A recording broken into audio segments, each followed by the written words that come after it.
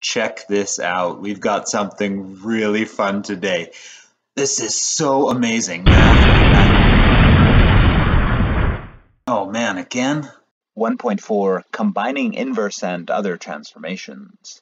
I've got this acronym here so that we know in what order to apply transformations. So F just stands for first, as in first you do inverses is I,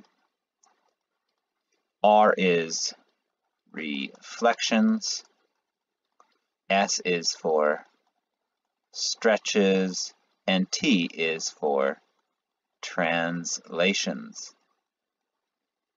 Now you know that uh, translations can come before stretches and vertical stuff can come before horizontal or the other way around.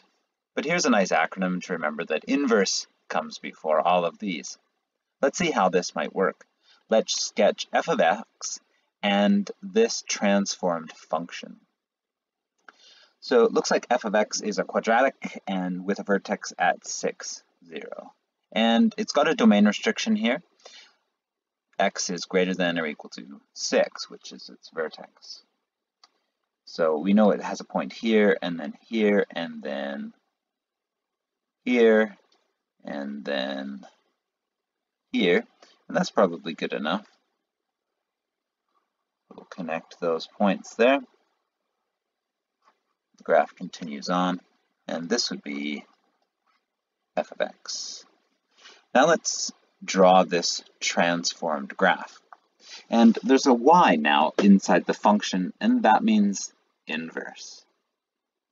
Okay, so we could do this on the graph um, and apply the inverse first, and then this translation next.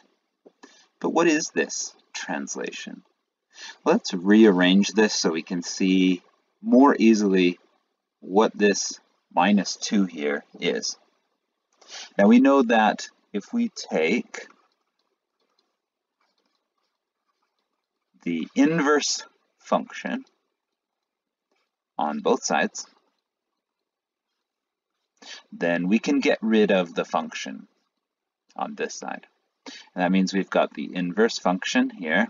So f inverse of x is equal to y minus 2. And now if I rearrange it, I'm going to put y on the left here. y is equal to the inverse function of x. And when I move this over to the other side with the f inverse, then I'm going to make it plus 2.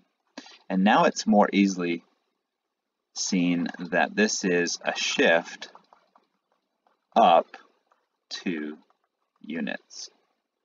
Now why did it say minus here then with the y? Well, once we're working inside the function, then these numbers have the opposite effect. So here's the new function. It would have been inversed up here to 0, 6, and then shifted up two units. So the new point would be here. And then it goes this, and this, and, and this. And there's that transformed graph. x equals f of y minus 2. Now let's find the equation of the transformed function and its mapping notation. So first, let's find the inverse. So before we had y equals, now we'll have x equals, was uh, x minus 6, so now we'll have y minus 6 all squared. Now let's solve this one for y. So we'll take the square root of both sides here, and we get plus or minus root x is equal to y minus 6. And the plus or minus comes from square rooting this side where we have a variable squared. Let's move the 6 over there and also at the same time switch sides. So I'm going to put y is equal to plus or minus root x plus 6. And that would be the inverse. Now there was one more thing though, and that is on the original function. We had a domain restriction of x is greater than or equal to 6. So when I do the inverse and I switch x and y, I need to switch the domain and range as well. So this would now be y is greater than or equal to 6. Now, if I'm looking at this right here, I get plus and minus. That would give me a sideways parabola. The plus would give me this, and the minus would give me this side. We want y is greater than 6 only, so we only want the positive. So we don't want the minus here. Okay, so we will get rid of that. Now we need to do the shift two units up. So, translation up, and that would be y is equal to the square root of x plus 8. And that would be our new transformed function in terms of x and y. And now you can see why it would start here at 8 and just move this way, like a square root of x, translated up 8 units. Mapping notation, x and y is mapped on 2. Now the first thing that happens is x and y are switched. So we'll switch them. And then there's a translation of 2 units up. And this is our y values that we need to translate up two units. So we go x plus 2. If f of x is vertically stretched by a factor of 3, inversed, horizontally reflected in the y-axis, and shifted 4 units left to create g of x, what is the equation of g of x in terms of f of x? Now they're just giving us a bunch of transformations. We need to apply them in the correct order. This just says and. If it gave an order like first it was vertically stretched and then inversed and then, then they're giving us an order that we need to follow. But since it just says and, it's just listing off a bunch. So we'll have to put them in the right order ourselves. So g of x is equal to, it's vertically stretched, so we can put that outside. It, we're going to take the inverse of it, so I'll put f inverse. Assuming that the inverse is a function, and we can't tell because we don't have f of x to look at. Next, we're going to reflect it in the y-axis, so I'll put a negative here, and shift four units left, so we'd have x plus 4. And there's our equation of g of x in terms of f of x. What's the mapping notation? We've got x and y mapped onto negative for the reflection, y because uh, we're doing the inverse, and minus 4 because we're shifting 4 units left, and vertical stretch by a factor of 3, and x because we did the inverse. And so there is the mapping notation for all these transformations. Let's move on and look at some diploma exam style questions. So we have the graph of f of x, shown here, is transformed into the graph of g of x by reflecting in the x-axis and translating up four units. And we're looking for the range of g of x in interval notation. So first let's do this question from the graph. So it would start here, go up and down if we were to reflect in the x-axis. Now let's shift this up four units and it would look something like that. Now we can just read the range off of this graph now that we've done the transformations. So our range, our minimum range value would be looks like it go, keeps going on down forever.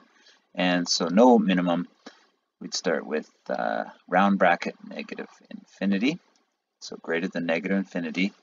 And looks like our maximum is 4, so less than or equal to 4. So square bracket here with the 4.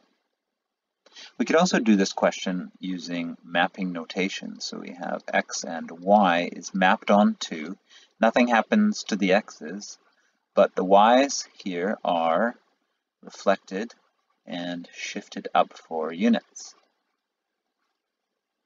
Now we can take the range values from the original f of x here and just use this part of our mapping notation. So before we had a minimum of 0, and if we run it through these transformations, that would turn into 4. Our maximum here was no maximum, so infinity. And if we put infinity through these transformations, negative infinity plus 4, negative infinity plus 4 is just negative infinity. Now this was the minimum before, so don't write this as the minimum now because 4 is larger than negative infinity here. So rearrange it like this, and that would be our answer. Now we see that that would be D in this case. A student is asked to draw the inverse of each of the following graphs. If no additional restrictions are given, which two graphs above will have an inverse that is a function? So we need a graph that will pass the horizontal line test. So this one will. Uh, this one will not. This one will. And this one will not. So it looks like graphs 1 and 3. The function y equals f of x is drawn entirely in quadrant 2 as shown below. Three new functions will be drawn that are transformations of this function f of x. For each function below, identify the quadrant which its graph will be completely drawn. A quadrant number may be used once, more than once, or not at all. First one looks like we're going to take f of x here and shift it vertically down by 8 units. If we look at this, this is 1, 2, 3, 4, 5, 6. So the maximum point here is 6, so shifting it down by 8 units puts it completely into quadrant 3. And they're very nice, they have labeled the quadrant numbers here for you. So it looks like the first one here is quadrant 3. Next one, looks like we shift left 8 units. Now that's interesting because we're already in quadrant 2 and shifting 8 units to the left here keeps us in quadrant 2. So this will be quadrant 2 and this is a horizontal reflection over the y-axis. So this image will be reflected over here into quadrant 1. The graph of f of x is stretched vertically by a factor of 1 ninth about the x-axis, stretched horizontally by a factor of 1 seventh about the y-axis, and then translated 8 units down. These transformations can be described by mapping notation. We've got m, n, and p there.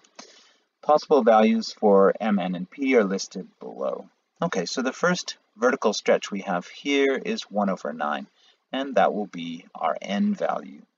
So n it's 1 over 9. Next we've got horizontal stretch by a factor of 1 over 7. That means right here in um, mapping notation, we want the verbal description to match our mapping notation. And so we're looking for 1 over 7 to be our m value here. And last is p, so P is 8 units down. So this needs to be minus 8, and that would be this one here. Now using these reference numbers, we're doing M first, so that would be 1. N is next, so that would be 2. And then 6. This was part of relations and functions 5 and 6 inverses and reflections, and also some more review at the end. Here's some questions from the textbook. Try them out, see if you know what you're doing.